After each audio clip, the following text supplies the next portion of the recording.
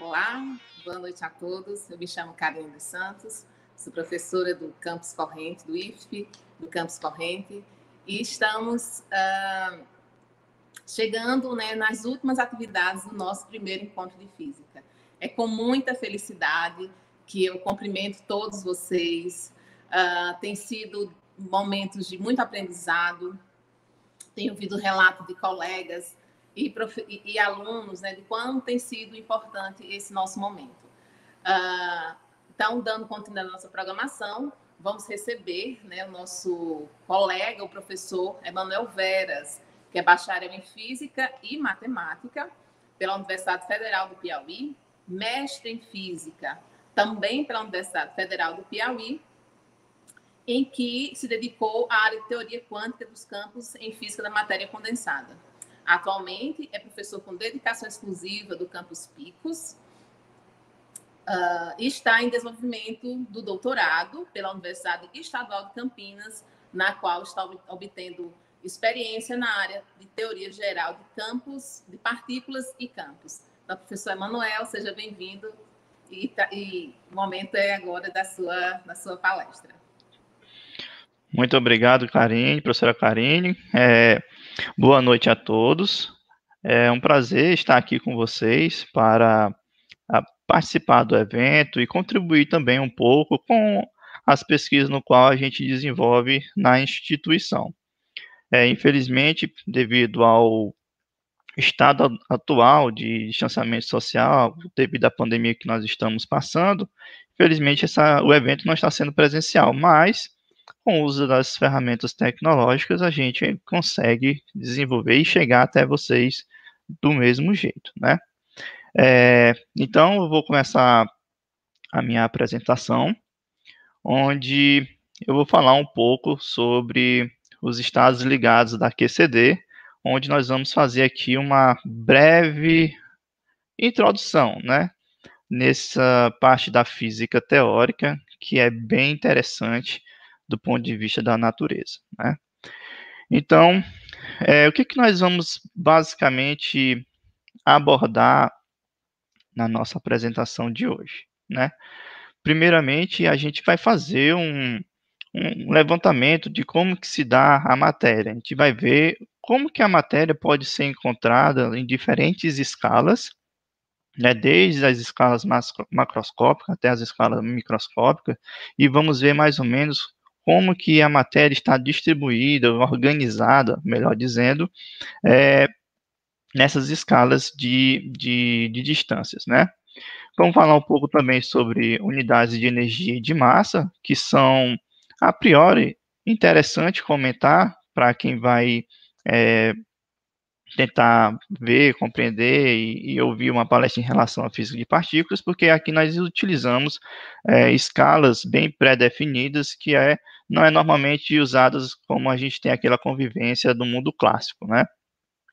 Vou fazer aqui uma breve retrospectiva histórica, bem breve mesmo, porque se nós formos pegar todo o desenvolvimento histórico uh, da física de partículas, isso dá um, um bom seminário muito mais denso, então, vou fazer aqui em linhas gerais como se deu a evolução dessa, da, do desenvolvimento de algumas teorias e também em relação a, aos experimentos que deram origem a esses, a esses, a descoberta dessas partículas. E vamos aqui também, posteriormente, é, falar um pouco sobre a classificação dessas partículas elementares. A gente vai ver que vai ter aí um grande número de partículas, que aí vai ser descoberto nos últimos anos, então precisa precisa-se agrupar essas partículas de alguma forma, alguma classificação para que a gente possa compreendê-las. Depois vamos identificar as interações fundamentais da natureza, no qual essas partículas estão submetidas, e consequentemente vamos aí formular o modelo padrão de física de partículas, né, o modelo padrão de interação em física de partículas, que é um modelo hoje mais bem aceito pela comunidade acadêmica, né, científica, que tenta aí, explicar um pouco sobre como é, que se, como é que é a interação das partículas na natureza.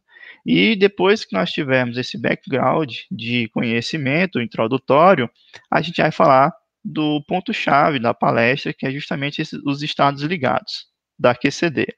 A gente vai ver lá na frente que a QCD é uma parte desse modelo padrão, onde vai imperar justamente as interações fortes na parte nuclear do átomo, ou seja, justamente nos prótons e nêutrons, e vamos ver que a matéria usual, a matéria palpável, vamos assim dizer, aquela matéria que forma a boa parte do universo, ela está confinada no que nós chamamos de hadrons. Nós vamos ver isso ao longo da nossa apresentação e tentar entender um pouco, compreender como que a física teórica pode contribuir para o entendimento desses estados ligados, né?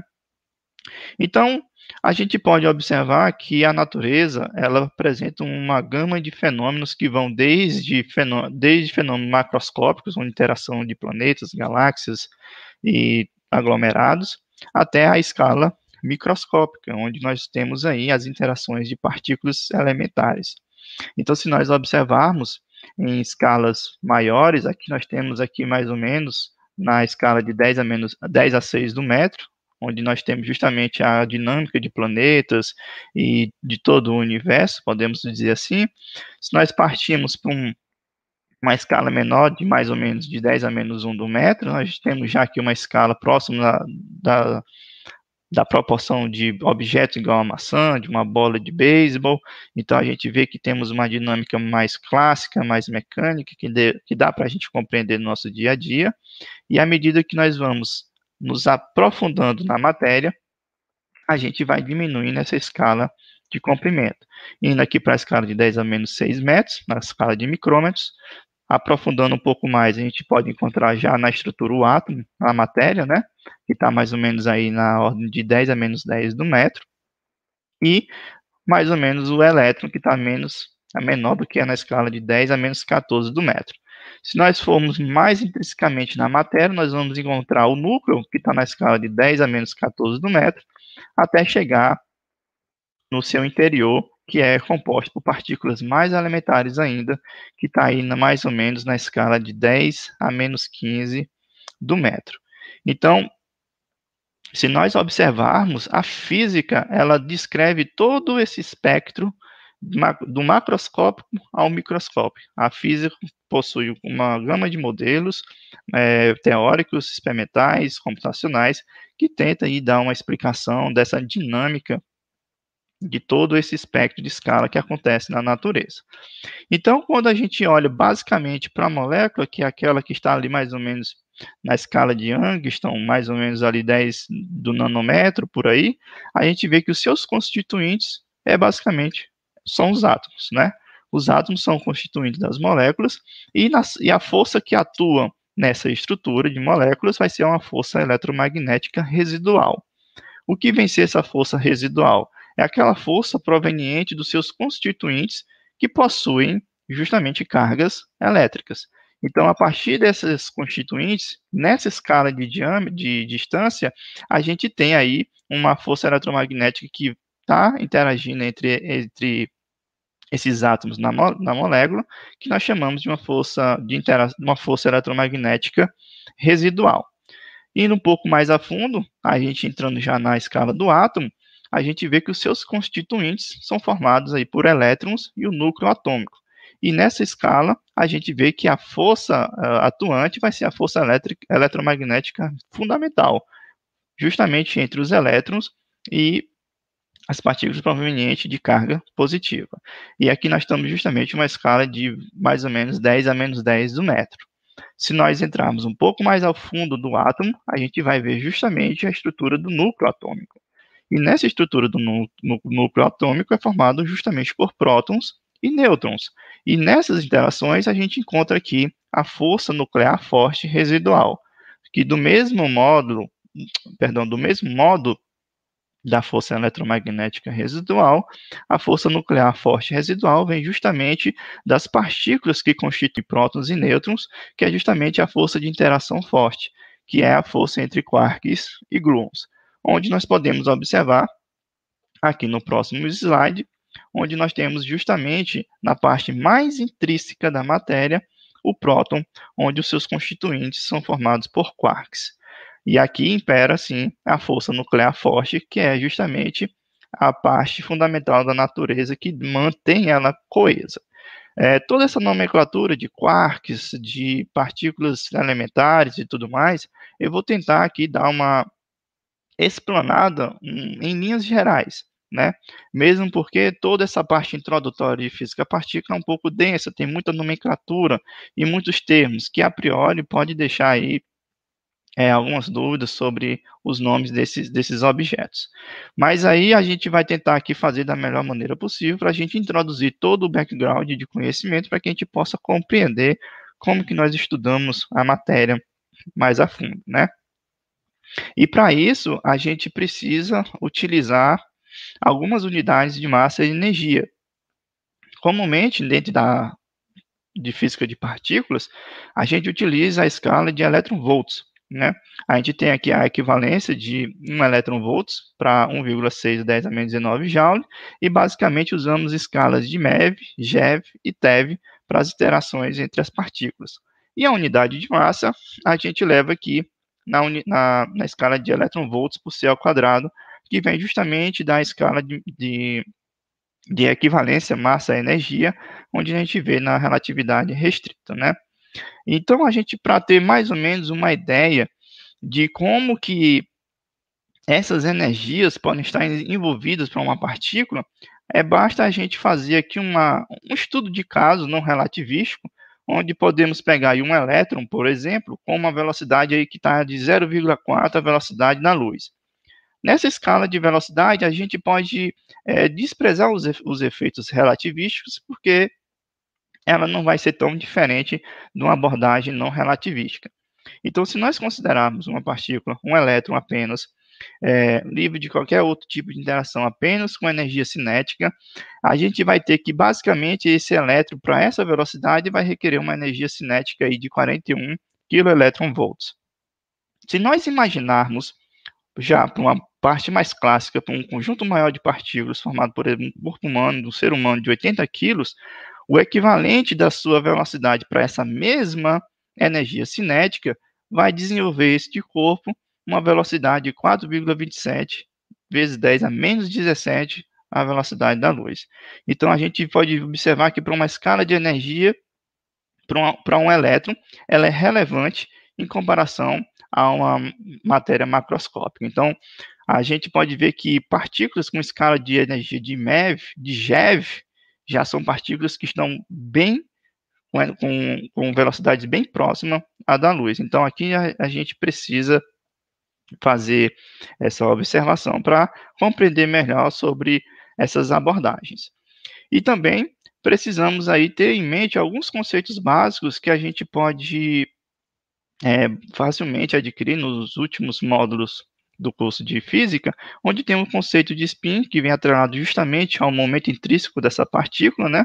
Onde esse momento de spin é dado em termos da, de unidade da constante de Planck.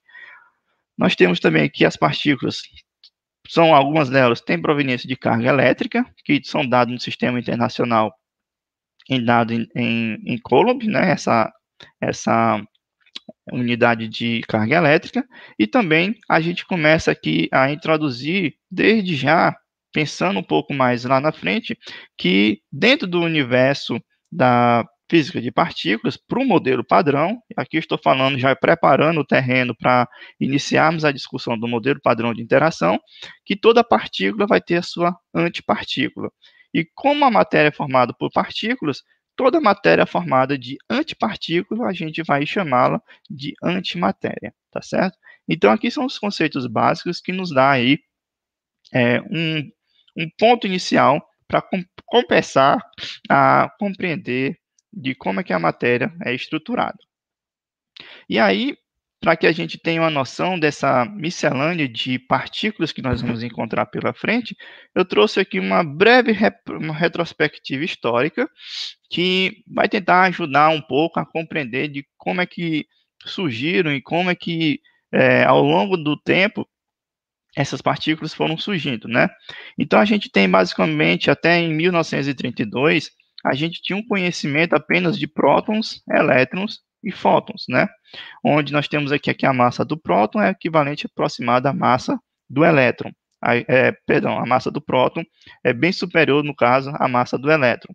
Ah, e aqui também nós temos já o conhecimento, no caso da terminologia do fóton, que ele tem massa nula, né?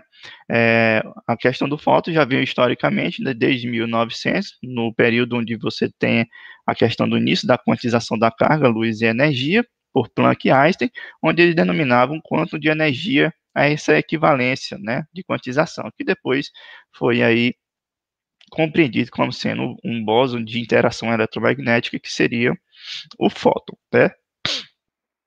Seguindo mais em frente, também em 1932, a gente tem que a descoberta do nêutron por Chadwick, onde nós temos aí basicamente a estrutura de massa muito próximo com o do próton. Então, podemos ter aí a noção que a estrutura de, de, de prótons e nêutrons são bem próximos.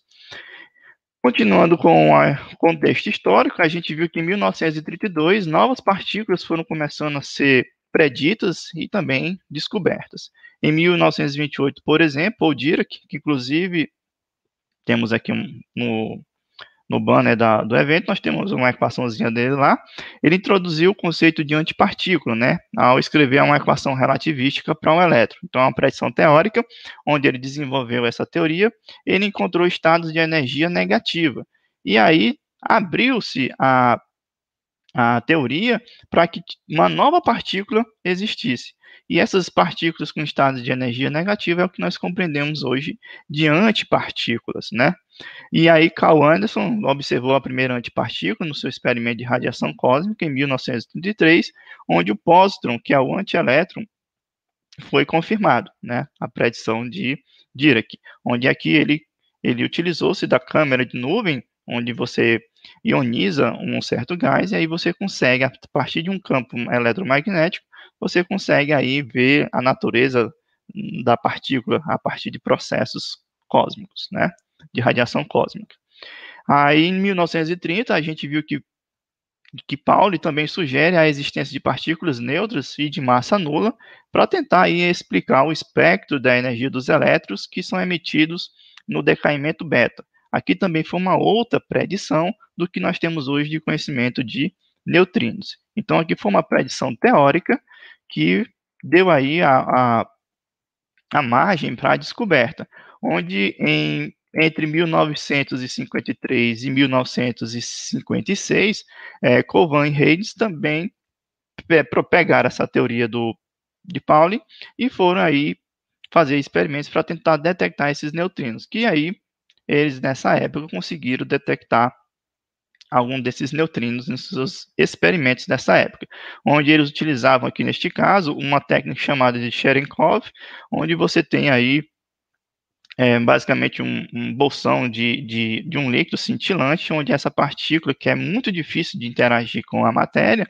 passava por este líquido e emitia aí um certo espectro de luz que você poderia recuperar através de cálculos teóricos, a natureza da partícula que passou e interagiu naquele momento. Prosseguindo em 1933, o Kawa ele propõe a existência de partículas com uma massa equivalente a entre um elétron e um próton para explicar as forças nucleares. Isso aqui foi uma predição teórica muito importante para a descoberta de novas estruturas da matéria, que a gente vai ver mais na frente, que seriam os mesons de Yukawa. Né? Em 37, Carl Anderson e Ned Meyer, eles juntamente de forma independente com Street e Stevenson, eles também é, observaram essa partícula, só que com a massa intermediária que foi proposta por Kawa, ou seja, experimentalmente. Que depois, em 47, é, Tanikawa e Sakata, junto com outros físicos, eles propuseram uma teoria para juntar o que o Kawa tinha proposto com o que foi observado, onde justamente eles fizeram um modelo onde o meson que era previsto por Kawa, eles decaía em um meson mais leve que haveria de ser observado. E aí sim, que em 47, Latz, Occhialini e Powell, Ciência Powell, eles comprovaram a existência dessa, dessa teoria proposta anteriormente, né? Onde eles conseguiram detectar esse meson mais pesado e o seu decaimento mais leve. E isso é, também foi depois é, comprovado por Perkins também em 1947, via experimentos. E aí, esse feito rendeu o prêmio Nobel Power, que foi um prêmio Nobel até hoje, é um prêmio Nobel que é, deixa de comentário, né, em 1950, porque César Lattes foi justamente aí o pioneiro para descobrir essas partículas, que inclusive ele foi o primeiro autor na revista Nature.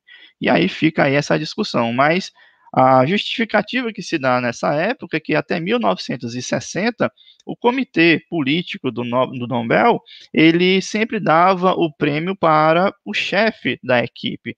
E naquela época, Paul era o chefe da equipe, então ele recebeu o prêmio Nobel, mas, é, é, recebeu o prêmio Nobel em menção à equipe pela descoberta, mesmo sabendo que Lattes foi o pioneiro e foi justamente ali o que estava à frente da, da pesquisa. Mas, enfim, são questões aí políticas que, é, infelizmente, às vezes atrapalham aí na parte da ciência, né? É, depois disso, em 1947 em diante, muitas partículas foram sendo detectadas, vários mesons, várias estruturas de partículas, né, com diferentes massas, com avanço tecnológico, com experimentos de, de colisores, foram se dando aí mais descoberta dessas partículas, tanto mesons como baryons. Depois a gente vai compreender o que vem ser mesons e baryons. E aí, por volta de 1950, nós tínhamos aí uma gama de partículas que parecia mais tabela periódica. Né? E aí, em vez de nós termos um conjunto de partículas que seriam elementares, já não seriam tão elementares assim. Foram observadas estruturas um pouco mais robustas que decaíam em outras mais elementares, e todo este conhecimento necessitaria de uma classificação. Ou seja, eles é, necessitaria de saber como é que poderia agrupar todo esse conjunto de partículas que foi é, descoberto ao longo do tempo. E aí, agregar essas partículas, é, já adianta que o modelo padrão é o que dá justamente essa sustentação no rol de todas essas partículas que foram aí é, tanto preditados como descobertos ao longo do tempo, né? Que é uma teoria quântica que era justamente nos dar toda a predição de predição e também a questão do conhecimento das interações dessas partículas, que aí a gente consegue fazer uma classificação inicial em dois pontos principais, em termos de spin estatística, né? A gente pode pegar o conjunto dessas partículas que foram descobertas ao longo do tempo e distribuir aí entre partículas que são fermiônicas e partículas que são bosônicas, né? E como é que nós poderíamos saber o que vem ser uma partícula fermiônica e o que vem ser uma partícula bosônica? Tá, uh, uma partícula que seja fermiônica, que é no caso aqui, já vou adiantando que são natureza de leptons, quarks e baryons, são aquelas partículas que possuem spin semiteiro, ou seja, aquela com, lá revisitando o conceito básico do momento magnético intrínseco de uma partícula, a característica daquele número quântico dessa partícula sendo semi-inteiro, a gente tem como sendo uma partícula que seja fermiônica, ou seja, é uma partícula que satisfaz o princípio da exclusão de Pauli. Ou seja, o que significa dizer? Se eu tiver um sistema, no caso, duas partículas em um sistema, é, essas partículas, elas, é, mais do que duas partículas, não podem estar em um mesmo estado fundamental, o mesmo nível de energia, devido justamente à questão de ter apenas duas possibilidades para esse número quântico. Então, as partículas que obedecem ao princípio da exclusão de Pauli são classificadas como partículas fermiônicas, que aí é até um, uma homenagem em, em, relação a Fermi e Dirac, que desenvolveram aí, discutiram essas propriedades estatísticas na época. Já as partículas bosônicas são aquelas partículas que possuem spin inteiro, né? Que aqui também foi em homenagem em relação a, a um trabalho conjunto de, de Einstein e Nate Bose, que também trabalharam e contribuíram para o desenvolvimento dessas propriedades estatísticas dessas partículas. E aqui, no caso, são partículas que podem estar ocupando o mesmo nível energético com o mesmo estado quântico. Neste caso, duas ou três mais partículas podem estar no mesmo nível de energia. Então, neste caso, são partículas que não obedecem ao princípio de exclusão de Pauli. Aí, olhando para essa tabelinha aqui, se nós observarmos bem, ah, no caso do número quântico do elétron de um átomo, a gente vê que ele possui várias características, vários números quânticos que o caracterizam, desde o momento angular orbital, o momento angular de spin, a projeção para a componente Z. Então, você vê que tem vários momentos, vários, é, vários números quânticos que classificam esse, esse, esse elétron, onde um deles é justamente onde ele dá duas possibilidades de estado quântico quando você pega o momento angular.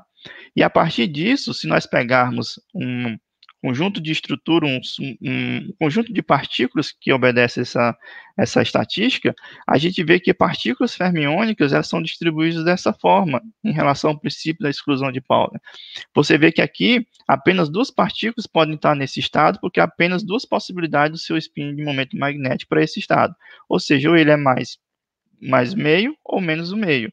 E assim você consegue distribuir essas cinco partículas dessa forma, tendo aqui vários níveis de energia, então você consegue obter aqui um nível de energia para esse sistema em relação ao primeiro nível. Já um conjunto de partículas bosônicas, é, você pode agregar elas todas em um mesmo nível, porque eles não obedecem à estrutura de, da exclusão de Paulo. Então, aí você obtém aqui uma energia menor em relação ao conjunto mais de partículas fermiônicas. Então, Avançando, a gente vê que depois a gente vai construir é, várias outras classificações em relação a partículas que são fermiônicas, partículas que são bosônicas, onde nós temos os leptons e quarks, que fazem parte da classificação de, de porque eles são partículas com spin semi-inteiro. A gente já vem aqui adiantando quais são os, os leptons que nós temos no modelo, e assim como os quarks também. E do mesmo modo, aqui nós temos também a classificação dos bósons, que são justamente aquelas partículas que têm o spin inteiro, onde nós temos os mesons, formados aqui, com as, mais de 140 tipos de partículas que são conhecidas, e temos os bósons de interação, que são aquelas partículas que, vamos dizer assim, carregam a, a força de interação, né? Que temos os fótons, os bósons W e Z, para força eletrofraca, para força é, é, fraca, e temos aqui o Grum da força forte, e aqui está faltando agora o mais recente descoberto, é, em 2013, 2012, que é justamente o bóson de Higgs, que aqui está, essa parte está desatualizada, não deu tempo para atualizar, né? E aí, já foi apresentado já um conjunto de nomenclaturas de leptons, de quarks, que são férmions, vimos que, que são é, bósons, que são mesons, que são bários. Então, apresentei é, esse conjunto de nomenclatura adiantado para justamente ter aquele primeiro impacto de quanto que nós temos de partículas, de como é que nós podemos agregar. Agora vamos aqui de uma forma mais pausada tentar compreender qual o conjunto de características que envolve cada um daqueles nomes que foi apresentado anteriormente. Primeiramente, nós vamos tratar dos leptons que são estruturas aí mais pontuais, no sentido de você pode encarar ela como estrutura como sendo uma única partícula. A gente viu que são férmions, ou seja, são partículas de spin meio. É, elas sofrem interações eletromagnéticas quando elas possuem carga elétrica e também sofrem interação fraca. Então, todos os leptons no modelo padrão são partículas que sofrem interação fraca. Algumas que têm carga elétrica, aí, consequentemente, eles também sofrem interação eletromagnética. É, são partículas que não têm interação forte, porque o, não tem a predição de carga, de cor, que vai dar justamente essa interação que nós vamos ver lá na frente, e também são partículas que não, tão, é, não possuem estrutura interna e nem dimensões mensuráveis vamos tratar essas partículas como partículas aí pontuais, né? Então elas, elas se comportam em, como partículas pontuais nessas interações. E aí ao longo da descoberta a gente tem aqui a família, a primeira família de partículas leptômicas, que são justamente o elétron e o seu neutrino relacionado. Temos o muon e o neutrino do muon, e também temos o tal e o neutrino do tal. Então, é, o conjunto da época que foram descobertas foram agregados a gerações de, de, de descobertas, onde foi calculado as suas massas e as suas cargas, né?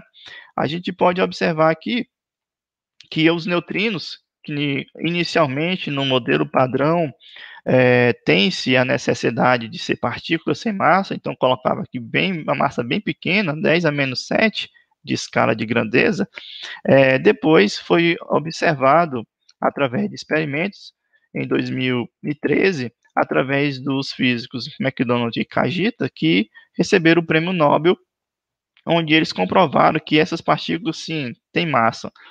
E essa comprovação, é, ela é uma comprovação até, até surpreendente e interessante, porque no modelo pra, padrão já predizia que essas partículas eram não massivas, e ao, e ao, descobrirem que essas partículas, além de ser massivas, elas oscilam umas nas outras, ou seja, um neutrino é, quando é emitido, ele vai oscilando entre os seus entre os, entre os seus pares, vamos dizer assim, entre suas características, entre, entre os seus sabores correlacionados. Então, essa propriedade que não é prevista no modelo padrão é, abriu aí um precedente enorme para novas pesquisas em física de partícula. Então, houve então a necessidade de fazer uma extensão do modelo padrão para que a gente possa compreender é, a natureza desses neutrinos, né? E aí a gente vê que os elétrons são partículas estáveis que estão dentro da estrutura do núcleo atômico, e os leptons mal e tal são partículas que possuem uma característica similar do elétron, mas são um pouco mais pesados e instáveis em relação ao elétron. Enquanto o elétron é uma partícula estável, a, as partículas muônicas e taônicas são partículas um pouco mais densas em termos de massa que vão decaindo aí em relação a outras partículas, né? E os neutrinos ficam aí como partículas que, estão, que são estrita, estritamente leves, possuem massa, mas muito pequena, né? Que não possuem carga elétrica e são e possuem uma interação muito fraca com a matéria, né? É, sendo capazes aí de atravessar planetas inteiros sem que haja uma interação com a matéria desses planetas, né? E, consequentemente, são partículas que são mais é, provenientes de fusões solar, é, fusões nucleares que ocorrem no Sol, em supernovas, reatores e aceleradores de partículas. Para que a gente possa ter aí mais ou menos conhecimento desses leptons, de muons, e towns, a gente vê aqui um, um, pequeno esboço de decaimento. A gente tem o conhecimento de duas partículas muônicas de carga elétrica negativa e carga elétrica positiva, onde vão decair em um elétron e um antineutrino do elétron e um neutrino do muon, e, consequentemente, aqui uma decomposição do, do, do muon positivo em um pósitron com um neutrino eletrônico e um antineutrino muônico. De forma análoga aqui ao muon ao tal negativo, nós temos um neutrino, é, perdão, um elétron e um antineutrino do elétron com o neutrino do tal, e nós temos o tal positivo que vai decair em um pósitron e um neutrino do elétron e um antineutrino do tal. Então aqui a gente vê que essas partículas leptônicas são massivas, instáveis e decaem em elétron ou pósitron, que são estruturas mais é, estáveis. Né? E aí, a gente pode partir para o outro conjunto de partículas dentro da classificação dos férmions, que vão ser justamente os quarks, que são aquelas partículas que estão realmente no interior do núcleo atômico. Elas são partículas fermiônicas, como já falei, de spin meio, sofrem interações eletromagnéticas, porque possuem carga elétrica, também sofrem interação fraca, estão sujeitos à mudança de sabor, sofrem interação forte, porque são provenientes da interação nuclear forte, e até o presente momento, essas partículas, os quarks, não foram observados isolados na natureza. Hoje, é, a gente, que nós temos de conhecimento é que essas partículas sempre são é, agrupadas, elas sempre estão agrupadas na natureza, que nós chamamos aí de estruturas hadrônicas. Lá na frente nós vamos entender um pouco que vem ser esses hadrons, né? Então a gente pode observar que tanto os quarks e os leptons, que, que já mencionamos, eles parecem ser partículas fundamentais sem nenhuma estrutura interna. Assim como pensava-se na antiguidade que próton era uma partícula fundamental, a gente vê que hoje próton é formado por quarks. E hoje nós temos que o entendimento de partículas como quarks e leptons, que são justamente muons, taus e, e elétrons, são partículas aí, é, até o presente momento, sem nenhuma estrutura interna. Então a gente pode afirmar a rigor que os quarks e os leptons são os chamados constituintes da matéria, né?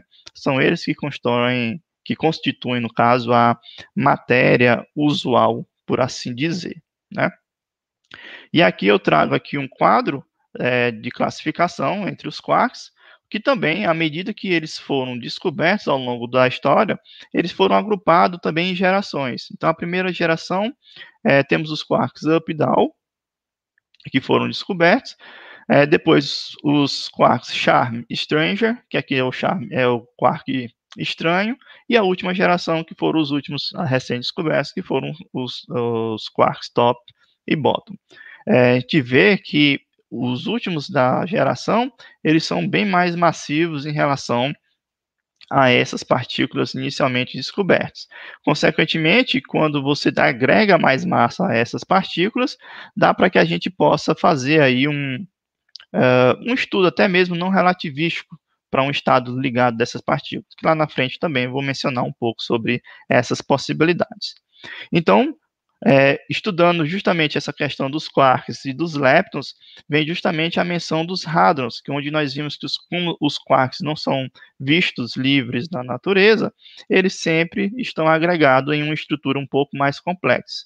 Então, os hadrons são partículas, estruturas mais complexas, assim dizer, que sofrem interação forte, que têm interação eletromagnética quando possuem carga elétrica, sofrem também interação fraca, porque decaem mudam de sabor e são classificados como baryons e como mesons, que a gente até antes tinha introduzido essas nomenclaturas. Só que baryons são partículas é, fermiônicas de spin semi-inteiro e os mesons aí são partículas é, bosônicas que possuem aí um spin inteiro, né? É, tendo essa classificação, a gente vê, tá, podemos agregar matéria como sendo hadrons, estruturas mais complexas, e dentro desses hadrons eles podem ser classificados como baryons ou como meson, dependendo da sua estatística de spin. E dentro da, da composição dessas partículas, também podemos dizer que os baryons são partículas formadas por três quarks ou três antiquark, que aí daria a origem de um antibáryon, e teríamos também os mesons formados por um par de quark e antiquark, né? É, com o tempo, a gente vê com aquelas descobertas, a gente agrega essas partículas bariônicas. Aqui temos uma tabela com algumas delas, mas são muitas partículas, então trouxe apenas algumas delas, que possuem carga elétrica, massa, tempo de vida e os seus principais decaimentos em relação quando elas se formam, né? Assim como também nós temos aqui alguns mesons, alguns tipos de mesons, entre os diversos que hoje nós temos conhecimento, onde nós temos estruturas mais simples e também temos como, por exemplo, os mesons éton, que são formados aí por uma combinação linear de estados de, de mesons, né? Então, é, a gente tem aqui até o presente momento o conhecimento justamente dessa classificação dessas partículas, que são é, necessárias e suficientes para que a gente compreenda de como que a gente pode utilizar de ferramentas matemáticas para estudar essas partículas da natureza. Então, além delas, também temos que compreender que tipo de interações essas partículas sofrem. Então, como foi dito uh, nas classificações anteriores, a gente vai ter que, entre essas partículas, as forças fundamentais da natureza que atuam nessas partículas previstas são justamente a força gravitacional, a força eletromagnética, a força fraca e a força forte. Então, esse é o conjunto de forças que hoje atuam na natureza para essa classificação, para essas partículas, né? Onde nós temos aqui, dentro das suas propriedades, que a interação gravitacional ela atua em massa e energia das partículas, então ela está em todas as partículas. A partícula mediadora, ou seja, o bóson mediador da força gravitacional, predita-se que seja o graviton, é, trazendo aqui para um modelo quantizado da gravitação, mas apenas aqui adiantando que não entra dentro do modelo padrão, devido a justamente à quantização da, do modelo que descreve o graviton, no sentido de você propusar, pro, propor essa partícula. Temos aqui a interação fraca, que é justamente os bósons W e Z. Temos a interação eletromagnética, dado pelos fótons, e a interação forte, que é dado pelos gluons. E quando a gente pega tudo e agrega nessa nessa classificação, a gente vê que a força forte vai ser mediada pelos fótons, são os mediadores, perdão, a força eletromagnética vai ser mediada pelos fótons, que são os mediadores da, da força eletromagnética, devidamente àquelas partículas que atuam com carga elétrica. A força fraca vai ser mediada pelos bósons carregados eletricamente W e o Z, que é, não tem carga elétrica, que vão atuar diretamente no sabor da partícula. O sabor, no caso, é o, é o tipo da partícula, se ela é um, um elétron, se ela é um tau, um muon ou um quark top. Então, esse, isso nós chamamos em física de, de partícula de sabor. E a força forte é mediada pelos gluons, né, que vão atuar sobre a cor. Aqui a cor não é uma cor que nós temos conhecimento de visual.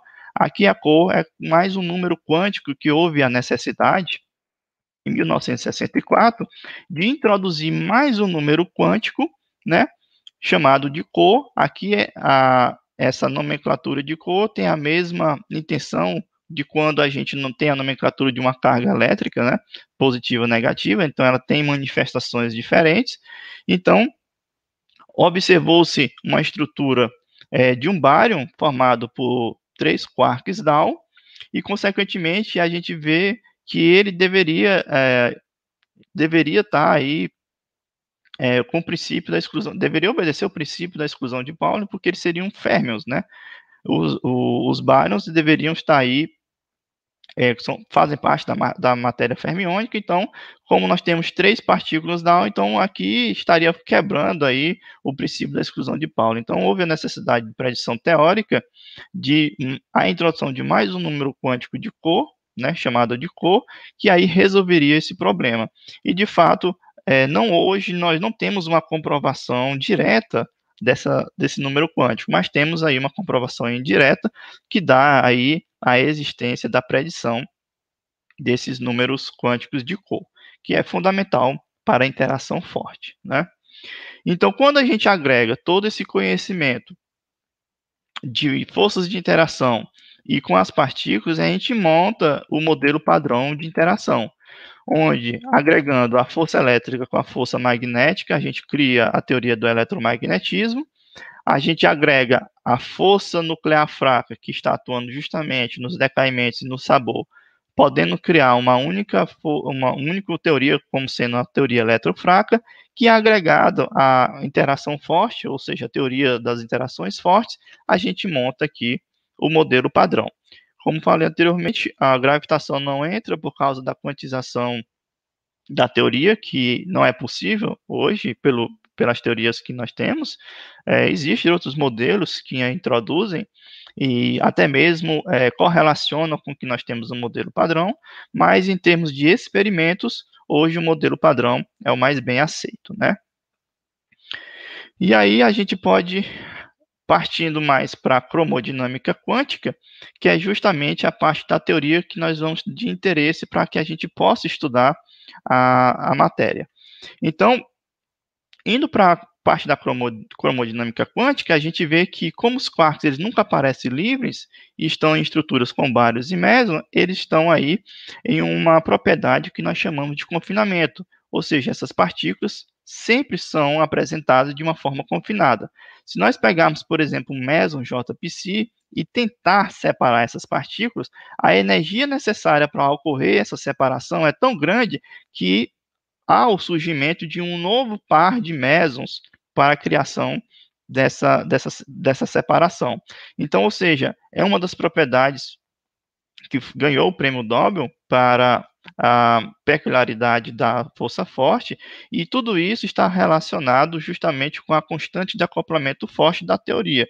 Essa constante de acoplamento é o que justamente nos dá aí a distinção de interação entre quarks e gluons, onde podemos observar que a propriedade da liberdade assintótica, que dá justamente onde na região de baixos momentos ocorra o confinamento e na região de grandes, grandes momentos ou grandes energias, aqui você vai ter a classificação de partículas quase livres, a gente vai ter a noção de teoria de per não perturbativa para tentar descrever o conjunto dessas predições nessa, nessa escala de energia, e aí nós vamos ter também a teoria de perturbação que pode descrever essa outra região desse, dessa ponta aqui do gráfico. Então a gente vê que a, o comportamento desta, deste parâmetro ele é fundamental para, para orientar de como que a matéria está constituída, né?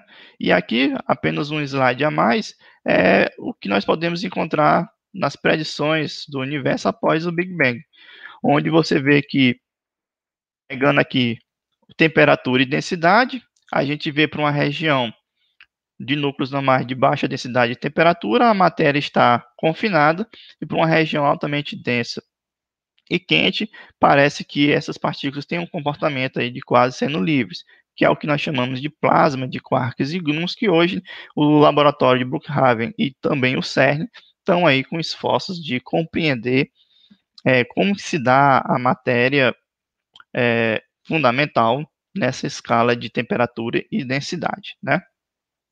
Então, é, usando apenas a teoria do modelo do, de quarks, é, perdão, de, da interação forte, a gente pode aqui descrever como é que vão ser os estados ligados da QCD, né? Então a gente pode pegar por meio da teoria da interação forte, que é o que nós chamamos de cromodinâmica quântica, é, a gente pode descrever esses estados ligados existentes na natureza, justamente nessa parte de confinamento, ou seja, onde a matéria ela é formada, podemos assim dizer. Então, a gente pode encontrar hoje um conjunto de, de estados ligados que vão desde a matéria usual, ou seja, estados usuais, que são os mesons e baryons, os mesons formados por quark e antiquark, como já tinha visto, é, falado anteriormente, e os baryons formados por três quarks. Além desses estados usuais, nós também temos aqui o que nós chamamos de estados exóticos, que são um conjunto de estados que não são usuais do ponto de vista da matéria, porque são altamente instáveis e decaem rapidamente em outras partículas, como é o caso de tetraquarks, que são formados por quatro quarks ou antiquarks, dependendo da formação, é, pentaquarks, formado por cinco quarks, e nós temos aqui os hexaquarks ou dibaryons, formados por seis quarks, ou antiquarks, dependendo da distribuição, e temos os glueballs, que são formados por dois ou mais gluons. Exatamente. Então, ou seja, não é apenas a partículas fermiônicas que me dá, é, que nos dão, na verdade, a estrutura de estados ligados. Nós também temos bósons que são capazes de formar estados ligados, que são estados bem exóticos, que é justamente o, o, o ponto que nós vamos pegar aqui de exemplo para tentar compreender um pouco mais de como é que a física teórica pode ajudar para compreender esses estados ligados.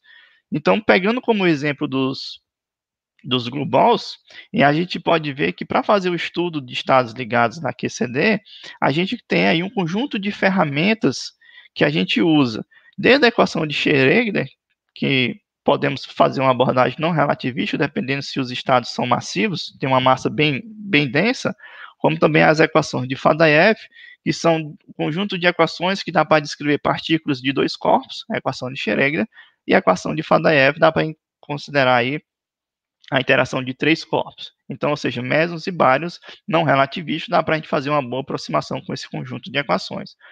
No entanto, quando nós vamos partir para uma matéria que é os seus constituintes são mais leves, então a gente tem que aí usar os modelos relativísticos. E aí a gente tem um conjunto de ferramentas não perturbativas, como as equações de Bethe-Salpeter, as equações de Fadaev com a variante, que aqui a gente vai fazer o tratamento relativístico, e também aqui uma ajuda computacional, que é a QCD na rede. Então, o conjunto dessas ferramentas é o que nós chamamos de modelos relativísticos, a gente pode usar para tentar descrever esses estados ligados. E aí, como é que nós podemos compreender um pouco de como é que a gente usa essas ferramentas para estudar os estados ligados? Se nós pegarmos a Lagrangiana que descreve a QCD, a gente vê que quando a gente destrincha toda a sua Lagrangiana, a gente olha por dois termos de interação entre três gluons e quatro, gluons, e quatro gluons. Esses termos que aparecem na Lagrangiana que descreve a interação forte, ela me dá a predição que pode existir estados ligados de gluons, de dois gluons, de três gluons ou mais gluons.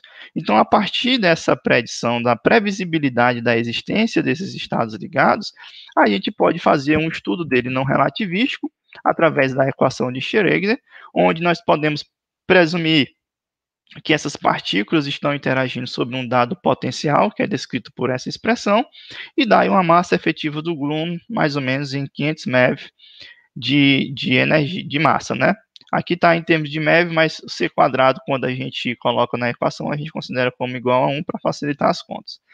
Então, fazendo essa abordagem não relativística, a gente pode encontrar aí uma escala de massa de 1,3 GeV, que quando você faz um estudo, por caso do global escalar, 0 mais mais, é, no caso aqui formado apenas por dois, por dois gluons, e tendo carga e paridade positiva, você vê que há uma boa discrepância em relação a QCD na rede. Então, isso aqui é um caso que requer um formalismo covariante, ou nesse caso, um formalismo relativístico, que é dado pelas equações de Bethe-Salpeter. Aí a gente traz aqui para o caso do global pseudo-escalar, que é um dos casos da estrutura mais simples, entre aspas, onde você pode usar aqui os diagramas de Feynman para tentar descrever esse estado ligado de dois gluons, onde aqui essas molas são representações de diagramas de Feynman para os gluons. Aqui nós temos a estrutura que vai me dar justamente todo o conhecimento desses estados ligados, e aqui nós temos a partícula em si com um dado momento. Então, a gente pode fazer uma previsão entre a interação de três gluons, modelos matemáticos para essa interação, assim como para o modelo de propagação desses gluons, e fazer um estudo para esse estado ligado. E, consequentemente, se nós pegarmos aqueles diagramas e aplicarmos os ingredientes fundamentais para propagadores e para vértices, que são dados pelas equações de Schwinger-Dyson, é, que são justamente um conjunto de ferramentas de equações diferenciais acopladas, que me dá essa dinâmica, a gente pode montar essa equação, onde nós temos esses Ds como sendo os propagadores desses gluons, que dão descrever esses propagadores, e esse K dado por essa estrutura tensorial que me descreve a interação entre três gluons. Pegando a nível de é, o nível não perturbativo, ou seja, quando a gente leva isso para grandes momentos, o comportamento da estrutura desse meu K, ele vai ter basicamente essa equação, onde vocês veem que preserva aqui as outras informações, e aqui a gente tem um conjunto de momentos. Então, pegar tudo isso e usar as ferramentas necessárias para estudarmos esses estados ligados é pegar esse conjunto de equação e transformar ele em um problema de alto valor. Quando a gente faz isso e transforma ele como sendo um problema de alto valor, a gente acha uma equação analítica, onde, consequentemente, nós vamos ter um somatório de contribuições de, de vários momentos para essa equação. Aqui se torna já quase impossível resolver analiticamente o problema, onde se dá a necessidade de fazer uma solução numérica, onde a gente faz a decomposição desses fatores de forma que é equivalente à psi da equação de Schrödinger, onde vai me dar a informação desse estado ligado. Preciso também fazer um conjunto de considerações do meu modelo numérico para você fazer a discretização dos pontos, utilizando, utilizando um, uma, uma esbolsa, um, um esboço de, de, de um grid né, vamos dizer assim, de pontos que a gente pode utilizar, algo, sei lá, fica dependendo a gosto do, do, do pesquisador, mas no caso eu gosto de utilizar é, Gauss-Legendre para fazer a discretização desses pontos, desses momentos, e aí você pode utilizar essas ferramentas numéricas para extrair essas propriedades. E aí, quando a gente resolve esse problema de alto valor, a gente pode observar que os espectros dessas partículas são dados aqui e comparados aos resultados da rede. Porque até o presente momento nós não temos aí uma, um, um experimento que nos dê uma previsão experimental, um, uma confirmação experimental. Então, aqui os dados teóricos vão ser casados com os dados de simulação computacional. E aqui eu trago uh, um resultado de 2013 feito por Meyers e Swanson, onde ele dá a previsão dessas partículas de glubols, né, o global escalar e o global pseudo-escalar, onde eles estão bem próximos das previsões é, computacionais, né. No entanto, uh, nesse trabalho, a gente fez uma revisão do trabalho de Meyers e Swanson, tirando aí um conjunto de ingredientes fundamentais, e a gente viu que ele teve que utilizar para a constante de acoplamento forte, renormalizado na escala de um GEB, um valor muito baixo que não é previamente aceito pela QCD. Porque se nós olharmos para aquele gráfico anterior do comportamento da constante de acoplamento renormalizado na massa do bóson Z, por exemplo, o seu valor é mais ou menos de 0,11. Então a gente vê a discrepância que foi dado entre o valor que ele utilizou para chegar próximo aos dados da QCD da rede com o que nós temos de aceitável na teoria. Então, é, com essa motivação, é, minha, um, uma parte da minha pesquisa do doutorado foi justamente propor uma, um modelo utilizando essa mesma ferramenta, que são as equações de Bethe-Salpeter, e tentar resolver esse problema de estado ligado. E aí nós, nós propusemos umas novas interações do vértice de três grooms para obter aí resultados para o global pseudo-escalar que esteja em consonância com a QCD na rede e a teoria. E aí a gente conseguiu uh, fazer esse modelo que seja compatível com os dados da QCD na rede e que ele tenha aqui um parâmetro de escala do modelo que seja aceitável para a QCD. Então, esses resultados foram publicados no ano passado, nesse, nesse, nesse artigo, onde a gente dá aí uma previsão da possibilidade de começar a fazer esse estudo desse, desse estado ligado de dois grooms inicial, depois a gente vai estender para outras estruturas, e aí a gente já tem uma ferramenta que a gente pode testar e à medida que nós formos testando em outras estruturas, a gente pode adequar dependendo das necessidades. Então, eu acho que trouxe aqui para vocês, basicamente, uh, um, um escopo geral de como que a física teórica pode atuar para fazer o estudo da natureza por meio de suas ferramentas matemáticas, tá certo? Então, eu espero que tenha pelo menos aí é, trago alguma ideia, pelo menos a ideia de como é que nós podemos trabalhar isso e agradeço a todos por estarem até esse presente momento é, a, assistindo a palestra, tá certo? Então, encerro por aqui minha apresentação e fico aberto para perguntas. Obrigada, professor Emanuel, né? Sua, sua palestra foi muito didática, E confesso que, enquanto você falava, é, eu, fiquei, eu pensava, pensando o tempo todo. A gente, não, no ensino médio, por exemplo, quando a gente vai falar das, das partículas, a gente para nos elétrons, né? diz que tem as partículas subatômicas e para por aí, né? Sim, então, sim. a sua fala mostra, mostra primeiro a discrepância da física contemporânea da física que a gente ensina na sala de aula, né? Exatamente. Que é, inclusive, uma das batalhas da, da área da, da SBF, que de ensino de física, de introduzir é, a física moderna e contemporânea no ensino médio. Então, a gente tenta trazer esses novos conhecimentos para dentro da sala de aula do ensino médio, para que eles possam despertar o que, que a gente faz nesses, sei lá, nos últimos 100 anos, nos últimos 50 anos, como outras áreas da ciência também já vem se propusendo a fazer isso. E aí, professor, agora sim, seguindo o protocolo das nossas palestras. Sim, sim. É, porque, é, é assim, como, como, como estudante de física também, eu não poderia deixar de fazer esse, esse comentário. Sim, né? sim, à é, vontade. a gente tem algumas questões lá no chat. É, o Edson, Aí, nosso colega, nosso professor Zé Ricardo, a propósito, gente, então eu estou quebrando todos os protocolos, tá? o professor Zé, professor Zé Ricardo é, é uma figura muito querida de todos nós e, e idealizador desse evento, né? E, e, é, e, a gente não poderia deixar de, de, reconhecer e fazer essa menção a você, tá, professor? Sei que você é tímido, mas eu precisava fazer essa, essa menção, tá?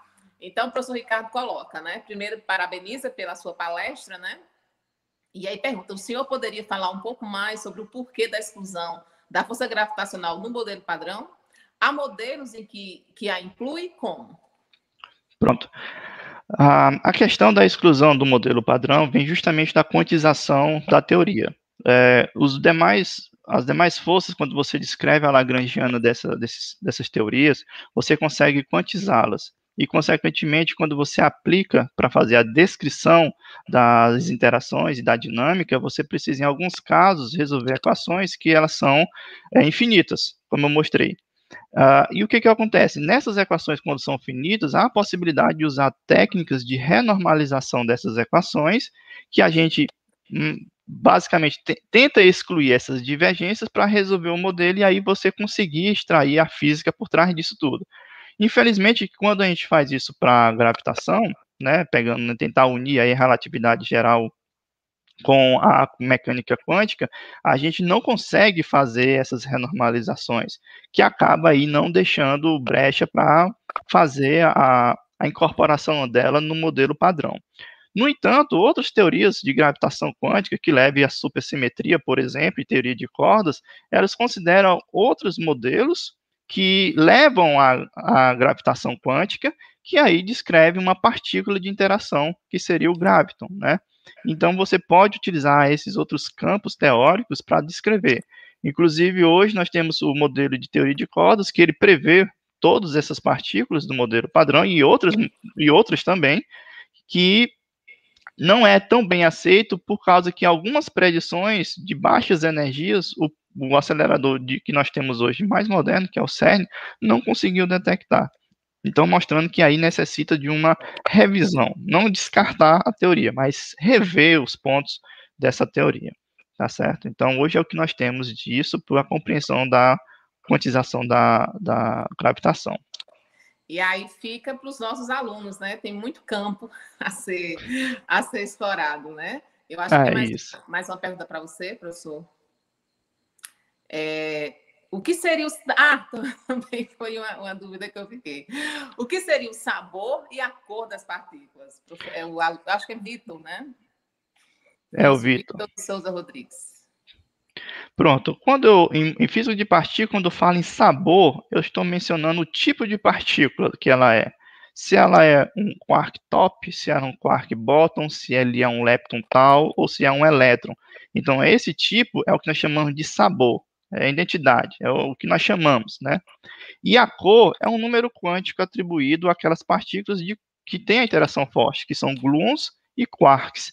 Então a cor aqui não é uma predição de aquela coisa visual, é a mesma ideia que nós temos de convenção de quando a gente estuda cargas elétricas. Nós temos a carga positiva e temos carga negativa. Então, nós temos manifestações da teoria é, elétrica de formas distintas que nós chamamos de carga positiva e carga negativa.